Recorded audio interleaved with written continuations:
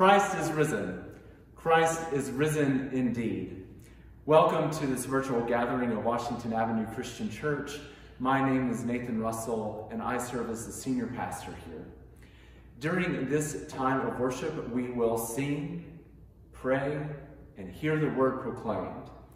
Following the meditation, we will have time to reflect through an activity, share in prayer, communion, and give our offering.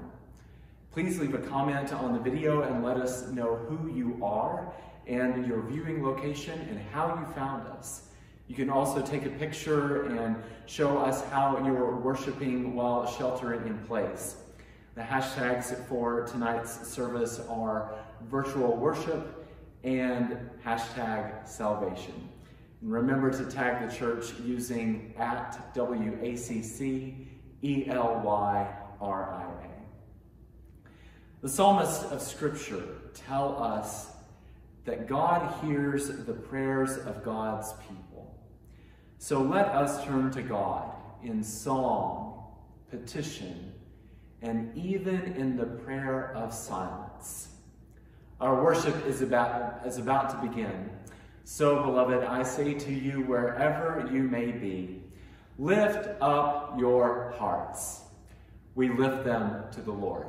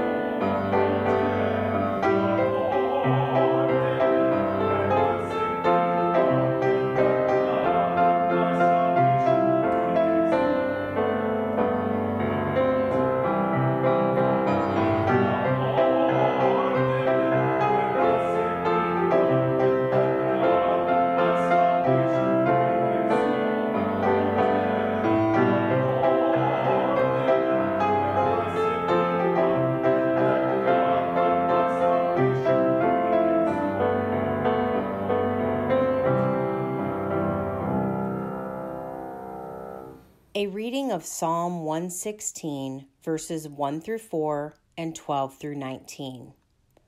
I love the Lord because God has heard my voice and my supplications, because God inclined the divine ear to me. Therefore, I will call on the Holy One as long as I live. The snares of death encompass me, the pangs of Sheol lay hold on me. I suffered distress and anguish. Then I called on the name of the Lord. O Lord, I pray, save my life. What shall I return to the Ancient of Days for all God's bounty to me? I will lift up the cup of salvation and call on the name of the Lord. I will pay my vows to the giver of life in the presence of all God's people. Precious in the sight of the Lord is the death of God's faithful ones. O Lord, I am your servant. I am your servant, the child of your serving maid. You have loosened my bonds. I will offer to you a thanksgiving sacrifice and call on the name of the Lord. I will pay my vows to the giver of life in the presence of all God's people, in the courts of the house of the Lord, in your midst, O Jerusalem. Praise the Creator of all. For poetry that points to the truth beyond words, thanks be to God. Poetry is saving my life right now. I'm not talking about big, bold, all caps salvation, but poems are keeping me going in the midst of the pandemic. Composers of these lyrics, these poets, they are pilgrims on a journey who are trying to evoke something true, something beautiful, something meaningful that cannot be captured in the flatness of ordinary prose. Walter Brueggemann says we live in a prose flattened world one that is organized in settled formulae, memos, and I'd add to that daily press conferences. Poetry is not limited to rhyme, rhythm, or meter, but language that moves like Bob Feller's fastball, that, that jumps at the right moment, that breaks open old worlds with surprises, abrasion, and pace. If you saw that 1997 movie Contact, Jodie Foster's character says upon reaching the new world, they should have sent a poet. We need poets right now, poets of Psalms, both ancient and new, to remind us of who we are, who God is, that we are not alone and that God's salvation is at hand. Though it's impossible to date or locate Psalm 116 or determine its author, we know that the poet has felt the snare of death whether she went out with a face mask on or gloves adhered to her hands, well, that's anybody's guess. But she felt that death surrounded her. She suffered distress and anguish. If it was sickness, she tested positive. If it was emotional distress, she took seriously her mental health and well being. If it was an unknown assailant, she was held captive. But then she writes, Then I called on the name of the Lord. O Holy One, I pray, save my life. All of us are praying that prayer right now, aren't we? Oh God, I pray, save my life. Protect me from a virus. Be with me when I have to go out and for the next two weeks that I count down to see if I somehow happen to catch the novel coronavirus. Though it is right that we should pray for ourselves, we're also praying for those we love. Oh, holy God, I pray, save the life of my friend, my parent, my sibling, my partner, my neighbor. Oh, holy God, I pray, save the life of my church, save the life of this world.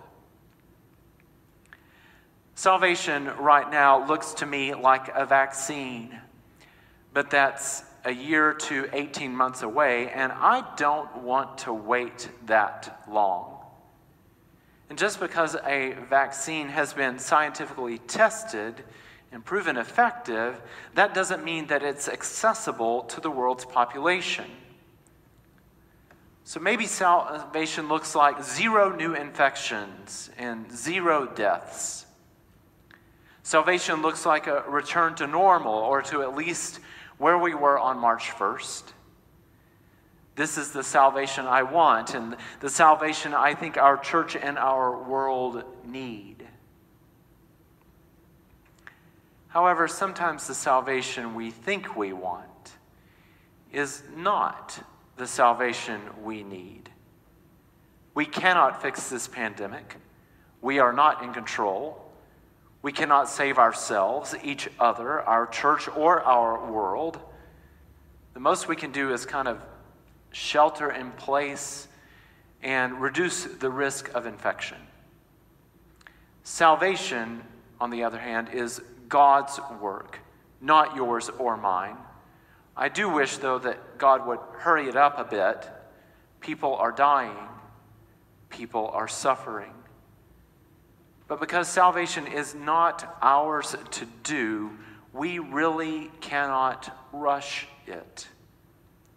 Salvation, big, bold, all caps, salvation happens when God gets everything God wants, when all is made right, when all is just, when everything and everyone is saved. That day is surely coming, says the Holy One. I just have no idea, none whatsoever when it will be, and I have no control of when it might finally happen. But come to think of it, God is saving us even now in ways that we cannot imagine, or perhaps in ways we do not even notice. These are small salvations that do not appear in big, bold capital letters. A well written poem that gives us the voice to pray, Oh God, save my life. That is salvific. A Skype or Zoom meeting with a friend, colleague, mentor. Those are moments of salvation. An unexpected email, phone call, or text can, can feel like it's enough salvation for us to just make it another day. Then there's the card in the mail, handwritten, with a first class stamp on it. And that can be a saving grace for all of us.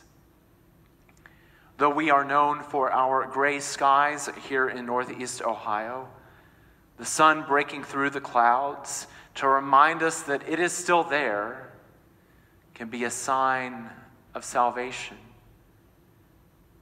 Sometimes we're so preoccupied with the salvation we've determined that we need, that we want, or even the salvation that God will finally get one day, that we miss the multiple and myriad ways in which God is saving us in the present all of which remind us that God has not left us to our own devices or to suffer this pandemic alone.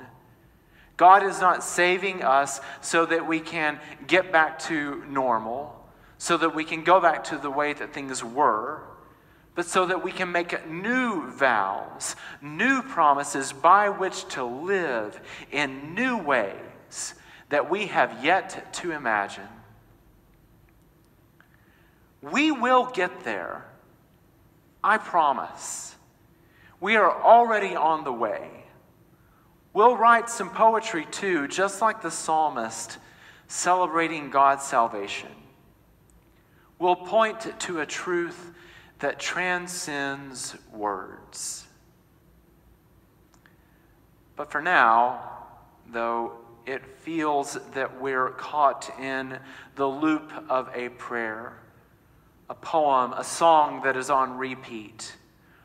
Oh Lord, I pray, save my life, save my friends and family, save Christ Church, save our world. That is okay. In fact, it's more than okay. We practice our faith when we cry out, Help me, save us. God will hear us as we pray. And God will save the world that God still loves. It will happen. This salvation is here. Small s. And the big salvation, the one in big, bold, capital letters, that salvation too is on its way. Amen.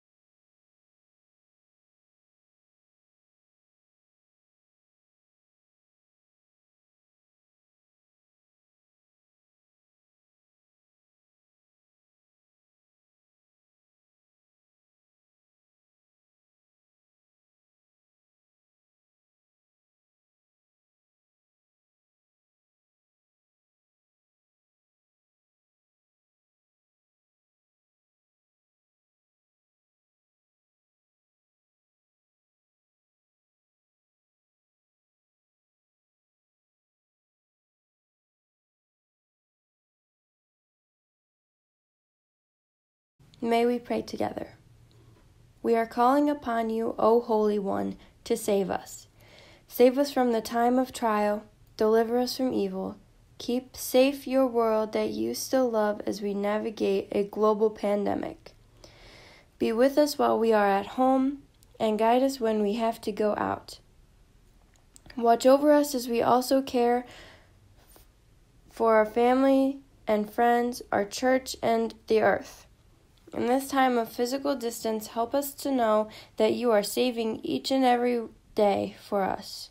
Spark our imagination for creative ways in which we can return to you our promises and vows. We ask this in the name of the one who saves. Amen.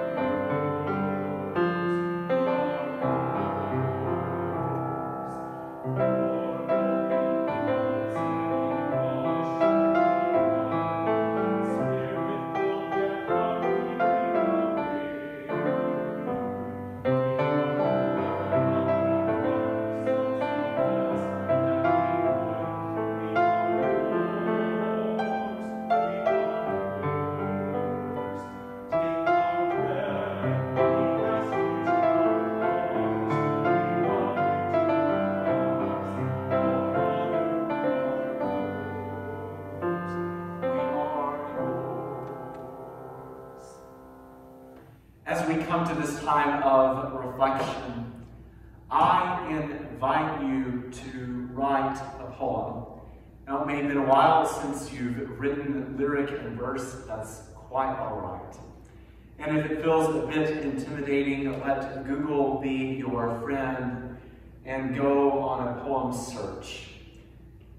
Find one, find verse and lyrics, write one that enables you to pray alongside the psalmist and all the people of the world. Help us, O oh God, and save our life. You can take the poem that you write and keep it with you, or perhaps post it and make it shareable so that we can pray your poem, your prayer, with you just as we have done the psalmist. And God will hear these prayers, the poems that we make, and God will save us. We also invite you to participate in the offering using the link in the below video description. And if you would like, we would be absolutely joy-filled to pray with you during this time in ways that you find meaningful and helpful. There's also a link for you to submit your prayer requests online and they become part of the prayers of the people of this church. And then finally, we invite you to participate in the sacrament of communion. This supper in which God and the resurrected Christ is being made known in all the places that bread is broken and wine outpoured. We are saved at this table. So find gifts of bread and cup, whatever you have available to you and may the living Christ be made known. I promise it will be salvific, a small uh, s salvation that points us to the salvation that God will one day have for the world that God still loves. On the night Jesus met with his disciples in an upper room, he first washed his hands and then he took gifts that were there on the table. First, a piece of bread. And he broke it and he said, This is my body broken for you. Take, eat, all of you, and do this in remembrance of me. In the same way, after supper, he took the cup and after giving thanks for it, he said, This is the cup of the new covenant poured out in my blood. Drink of it, all of you, and do this in remembrance of me. For as long as we eat this bread and drink this cup, we are being saved by God. Come, beloved, everything is ready.